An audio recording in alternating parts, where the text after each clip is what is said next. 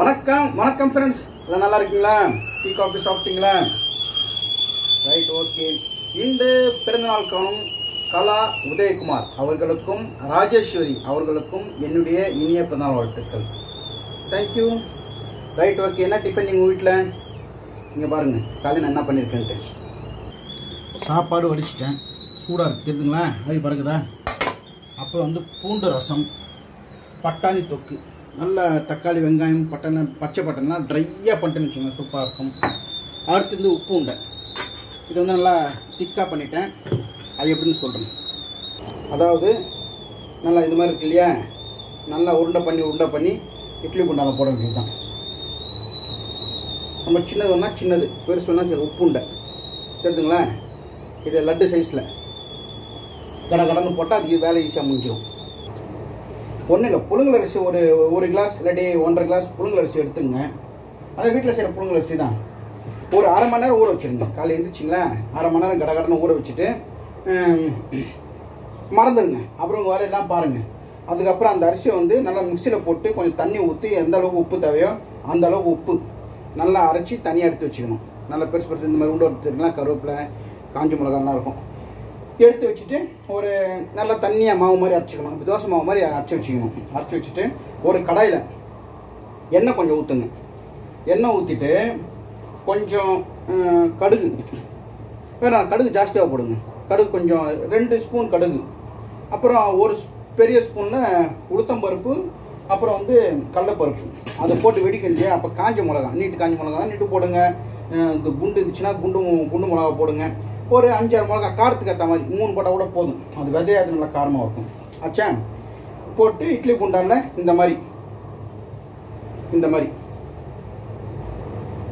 தெரியுதுங்களா? இந்த மாதிரி வச்சுருங்க. வச்சுட்டா ஒரு பதினஞ்சு நிமிஷத்தில் அது நல்லா சாஃப்டாக வந்துடும் இது வந்து இட்லி பொடி சூப்பராக இருக்கும். எங்கள் இட்லி பொடி இப்போ இல்லை. இப்போ இட்லி பொடி வாங்கியிருந்தால் நல்லா இருக்காது. இட்லி பொடி சாயங்காலம் தான் செய்யணும். இப்போ கடையில் போயிட்டு ஒரு புதினா கொத்தமல்லி ஒரு கட்டு வாங்கிட்டு துவையல் மாதிரி பண்ணிட்டோம்னா வேலை ஈஸியாக முடிஞ்சிடும் அவ்வளோதான் ரொம்ப சிம்பிள் தான். கடைசியில் கடையில் இருக்கிறதெல்லாம் சுரண்டி நல்லா சுரண்டிட்டு எல்லா உண்டே போயிட்டு கடைசியில் சூப்பராக நம்ம டேஸ்ட்டு பார்க்குறதுக்கு கோலி உண்டை மாதிரி ஒன்று அவ்வளோதான் கொஞ்ச நேரத்தில் காமிக்கிற பாருங்க எப்படி வந்திருக்குன்ட்டு. ஓகே உப்புண்டு ஆயிடுச்சு. காமிக்கிட்டுங்களா? விட்டு கொண்டா கொஞ்சம் சூடாக இருக்குது இருங்க அப்படியே கேமரா தூங்க காமிக்கிறேன். இவன் தரகிறேன் தெரியுதுங்களா இது ஆயிடுச்சு. உப்புண்டை செம்ம டேஸ்ட்டாக இருக்கும். சுட சுட உப்புண்டை. தோசை பொடி இட்லி பொடி இருந்தாலும் ஓகே. அது என்கிட்ட இப்போ இல்லை காலி ஆகிட்டு இருக்கு. அது சாயங்காலம் வந்துட்டு. கடைக்கு போனேன்னா புதினா கட்டு தான் புதினா கட்டு. கொத்தமல்லி இருந்தால் கொத்தமல்லி. வாங்கி வந்துட்டு ஏதோ ஒன்று வாங்கி வந்துட்டு துவையல் மாதிரி பண்ணுறோம் திக்காக இந்த உண்டைக்கு நல்லா சுட சுட உண்டைக்கு லைட்டாக அப்படி புதினா துவையலோ கொத்தமல்லி ஆறு ஆயில் போட்டால் செம்ம டேஸ்ட்டாக இருக்கும். இந்த மழை காலத்தில் குளிர் காலத்தில் இது சாப்பிட்டா நல்லாயிருக்கும் எங்கள் அப்பாவுக்கு ரொம்ப பிடிக்கும். எங்கள் அம்மா அடிக்கடி செய்வாங்க. ஓகேவா எல்லா வேலையும் முடிஞ்சு போச்சு. இப்போ கீழே போய்ட்டு காப்பி கொடுத்துட்டு சுடு தண்ணி ஊற்றிட்டு எங்கள் அப்பா குளி போயிட்டு தம்பி குளிக்க வச்சு தம்பிக்கு ஏதா தம்பி உப்புண்டா? எங்கள் அப்பாவுக்கு உப்புண்டா? எனக்கு உப்புண்டா. இன்றைக்கி எல்லாருக்கும்.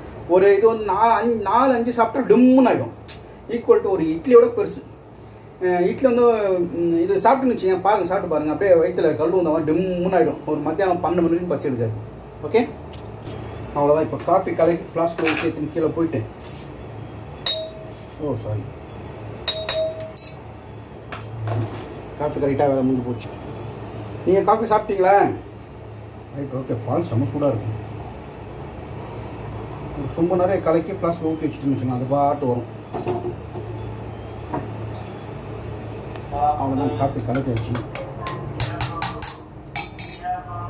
ஃப்ளாஸ்க்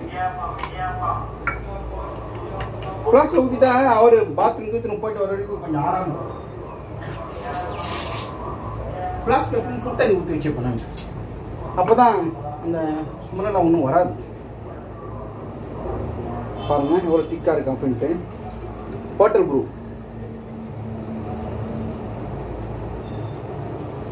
ஃபுல் ஆயிடுச்சு. இது பாருங்கள் தெரிஞ்சுங்களா ஃபுல் ஆயிடுச்சு. இந்த ஹோட்டல் ப்ரூ சொல்லிட்டு ஒரு நேரத்தில் சொன்னேன் இல்லையா? அது நீங்கள் சாப்பிட்டு பாருங்க. சும்மா அப்படியே ஹோட்டலில் காப்பி கொடுத்தா ஒரு ஸ்மெல் வரும் இல்லையா? அந்த மாதிரி ஸ்மெல் வரும். அது காலையில் எழுந்திரிச்சோன்னா பிடிச்சின்னு வச்சுங்க ஜம்முன்னு இருக்கும். அதான் பெட் காஃபி நான்லாம் பெட் காஃபி சாப்பிட்டு பல வருஷங்களா? ஆச்சு முப்பது வருஷம் ஆச்சு. சரி ஓகே கீழே எடுத்துன்னு போன வாங்க. கொஞ்சோண்டு காஃபி இருக்குது குடிக்கலாமா வேணாமான்னு பார்க்குறேன். கொதிக்குது. கொஞ்சோண்டு தாங்க இருக்குது நான் ஏற்கனவே இது காலையில் ஒரு ரெண்டு லிட்டர் தண்ணி குடிப்பேன். ஆச்சு ரெண்டு லிட்டர் தண்ணி குடிச்சு ஒன் ஹவர் ஆச்சு. இப்போ தைரியமாக கொஞ்சோண்டு காஃபி நீங்கள் காஃபி சாப்பிடுங்க. கீழே போகலாம் ஃப்ளாஸ்க் எடுத்துன்னு. தம்பி என்ன பண்ணான்னு தெரில அப்பா காலையில் எழுந்திரிச்சு தண்ணி வச்சுட்டு வந்துட்டேன். இப்போ ஊற்றிட்டு அவர் குளிப்பாட்டு வேண்டியது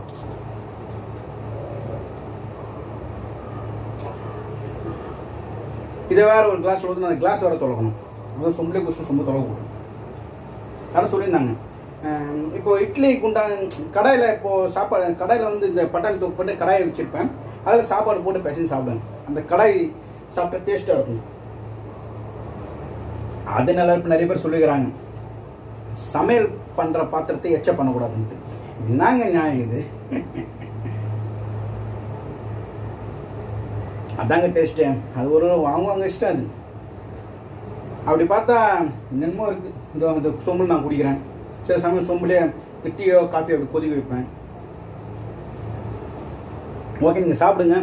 தேங்க்யூ கீழே போகலாம் அப்பா வந்து வெயிட் பண்ணுறாங்க